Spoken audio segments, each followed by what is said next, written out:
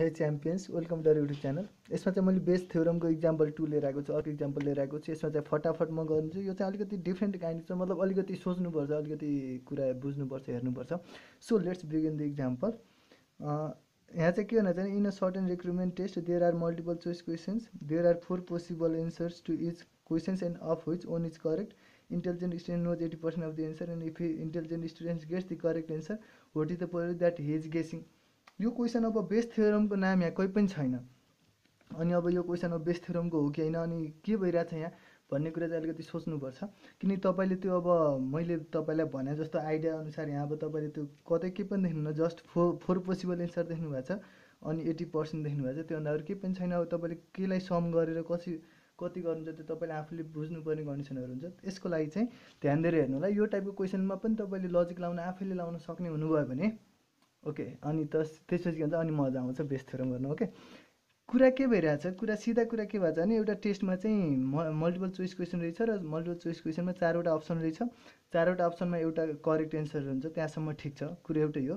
अब यहाँ आइपुग्यो चाहिँ इन्टेलिजेन्ट स्टुडेन्ट छ अरे जसले चाहिँ eighty percent of the answer चाहिँ जाने छ। मतलब त्यहाँ यदि सयवटा क्वेसन छ भने उसले अस्सीवटाको क्वेसनको चाहिँ एन्सर उसलाई आउँछ। मतलब चारवटा अप्सन मध्येको उसले स्योर थाहा छ मतलब उसले सिधै हानिदिन सक्छ कि यो चाहिँ करेक्ट एन्सर उसलाई थाहा छ। बाँकी कुरा रह्यो यहाँ क्वेसन यो हो कि त्यो इन्टेलिजेन्ट स्टुडेन्टले के गर्यो त करेक्ट एन्सर पायो सबैको हन्ड्रेडमा हन्ड्रेड पर्सेन्टकै लगभग करेक्ट एन्सर पायो भने उसले त्यो चाहिँ अब कुनै एउटा क्वेसनको सपोज करेक्ट एन्सर पायो भनेर त्यो चाहिँ उसले गेस गरेको हो भन्ने कुरा चाहिँ प्रोभाबिलिटी कति छ भन्ने कुरा चाहिँ हामीलाई फाइन्ड आउट गर्नुपर्ने छ कुरा अलि बुझेन जस्तो छ। कुरा यस्तो छ। कुरा कस्तो छ भने हामीसँग क्वेसन छ र क्वेसनमा चारवटा अप्सन छ।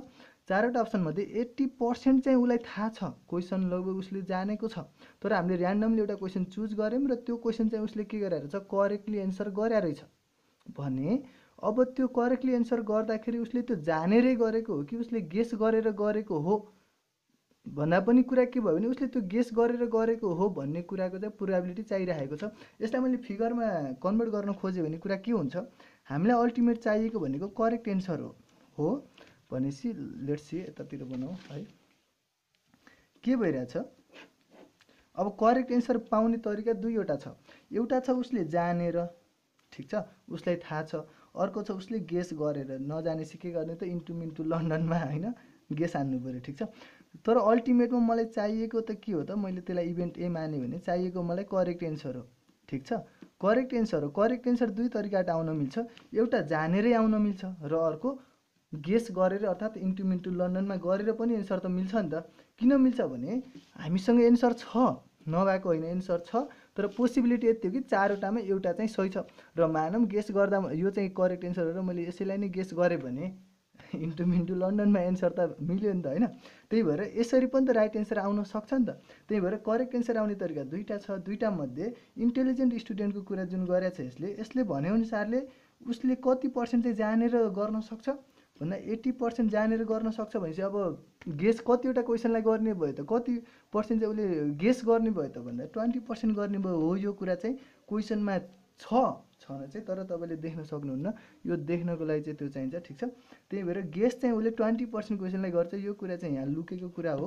र अर्को कुरा अब उसले जानेको छ र करेक्ट एन्सर दिने चान्स कति छ? यहाँ मैले लेखेँ भने सपोज यसलाई चाहिँ मैले के भने यसलाई मैले के भनेर यसलाई मैले जी भने सपोज इभेन्ट भने यो नोइङ इभेन्ट हो र यो गेसिङ इभेन्ट हो भने उसले के गरिसक्यो? उसले जानिसक्यो र करेक्ट एन्सर दिने चान्स कति छ? यसलाई के भन्ने अरे उसले जानिसक्यो ऊ नो नो छ उसलाई यो थाहा छ र पनि अब करेक्ट एन्सर दिने चान्स कति छ?